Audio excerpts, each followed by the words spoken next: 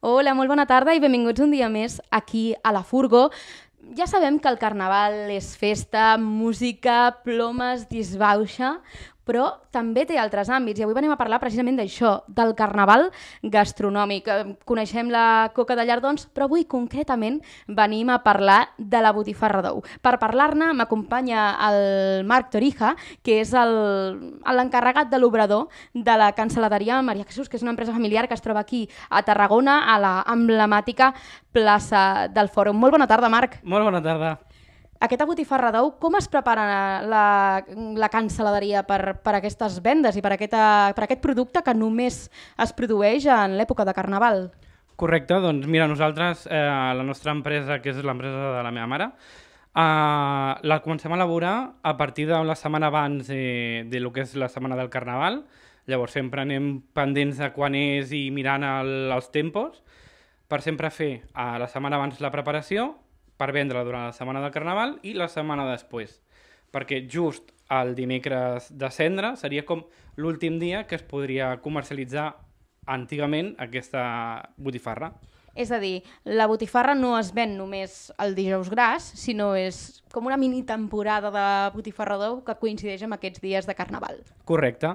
Eh, normalment, antigament, la gent es preparava eh, per menjar tot el que és eh, elements, aliments amb grassa i molt de greix, com les botifarres, la truita d'ous, i normalment ho feien dijous abans de Quaresma i durant tota aquella setmana era com que la gent podia menjar el que volgués que no passava res. I llavors es preparaven i agafaven tot l'aliment i la força perquè a partir del dimecres de cendre no podien menjar ni porc ni ous. Llavors, l'origen de la botifarra d'ou es va crear per això.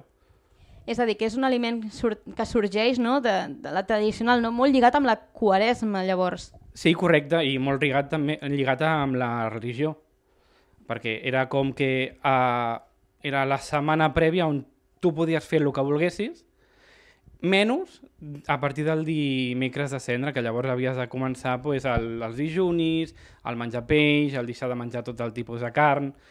Llavors, doncs, a la botifarra d'ou eh, s'elaborava expressament dijous gras.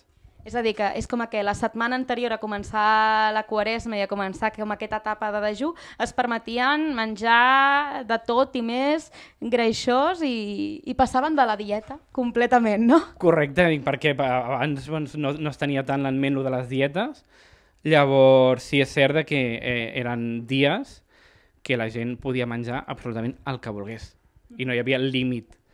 Llavors, clar, després arribava la quaresma, que qui tenia la bula papal podia lliurar-se d'aquestes, eh, d'aquest privament de menjar carn. Llavors, si tu tenies o aconseguies una bula papal, podies menjar carn. O se't, se't convalidaven tots els pecats que tenies. I quina sort que precisament el Marc sigui l'encarregat de l'obrador, perquè a mi m'encantaria saber ben bé com s'elabora aquesta botifarra d'ou.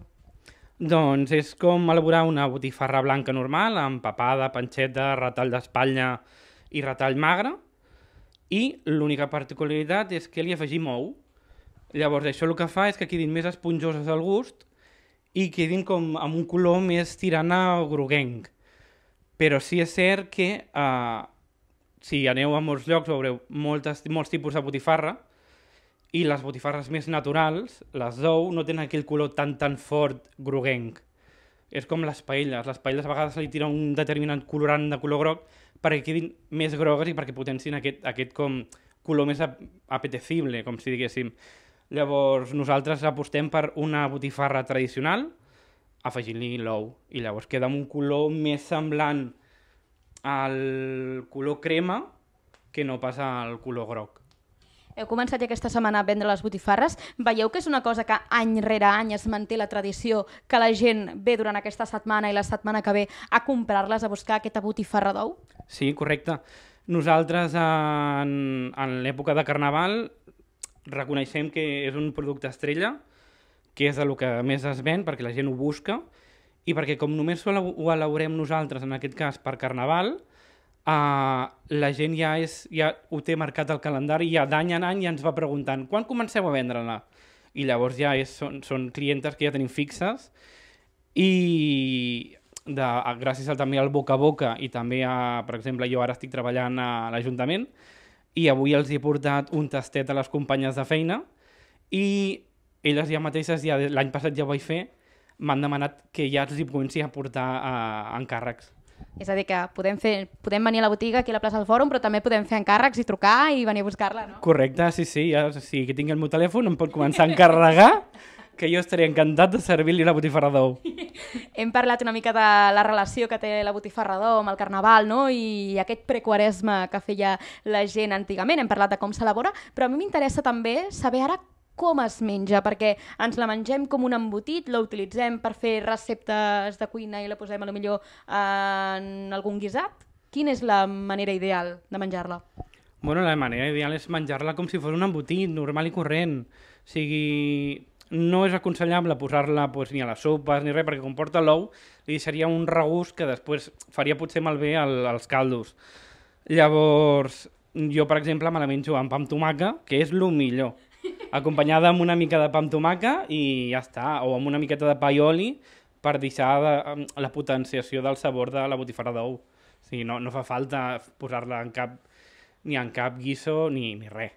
Ser minimalista, no? Sí, el, menos és más, en aquest cas.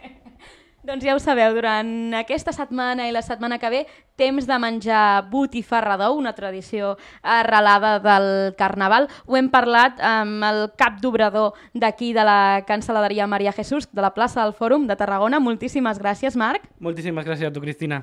I res, molts èxits, que es venguin moltes botifarres, jo de ben segur en compraré alguna i nosaltres ens veiem a la propera furgó. Adeu!